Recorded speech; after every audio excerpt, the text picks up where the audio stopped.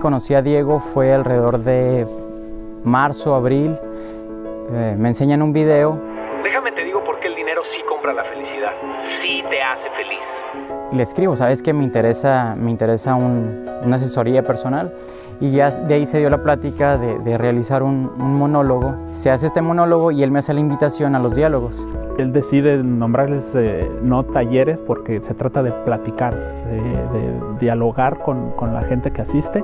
Yo esperaba ir a un lugar donde estuviera Diego platicando sobre temas y uno estar recibiendo información. Es una mezcla de, de enfrentamientos contigo mismo, de temas que a veces le queremos mejor no tocar, como el dinero, Fue una gran experiencia. De verdad es que yo iba por una cosa y salí con las manos llenas. Dije, ah, qué bueno, hay otro loco que piensa parecido a mí.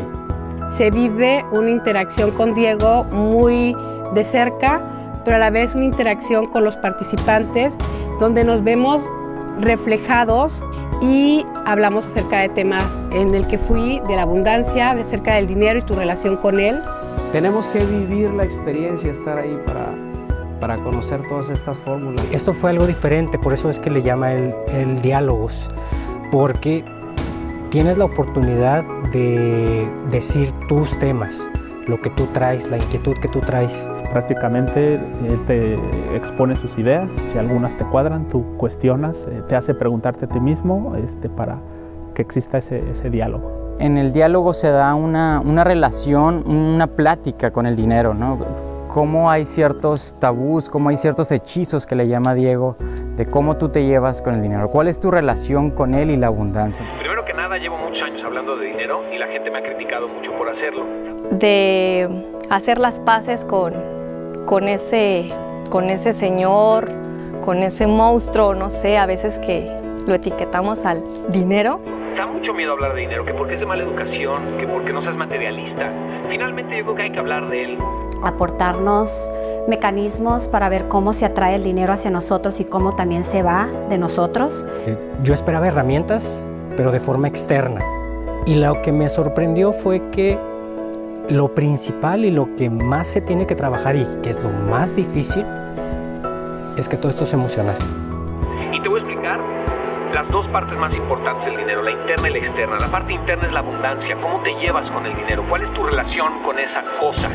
Las creencias que tienes acerca del dinero, romper con esas creencias, romper con esas interpretaciones.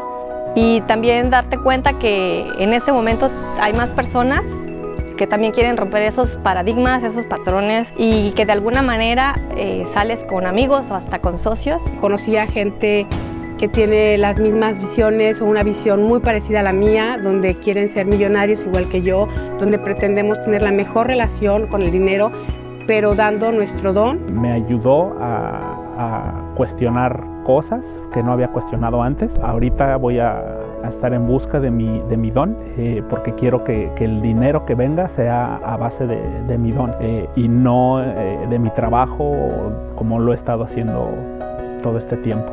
Invitamos a la gente a que, a que nos escriban, a que nos sigan, a que nos pregunten eh, qué son estos diálogos. Por eso les invito a que cuando tengan la oportunidad de asistir a cualquier diálogo, porque se van a encontrar seres humanos muy valiosos más allá de Diego, te marca Diego, pero también te ayuda a conectarte con otra gente que busca lo mismo. La verdad es eh, algo diferente. eh, créanme que eh, les va a ayudar. Sus ideas son un poco revolucionarias, pero eh, creo que es necesario, es tiempo. eh, las cosas cambian con el tiempo y, y eso es lo que yo creo que está eh, ofreciendo Diego. De verdad vale muchísimo la pena.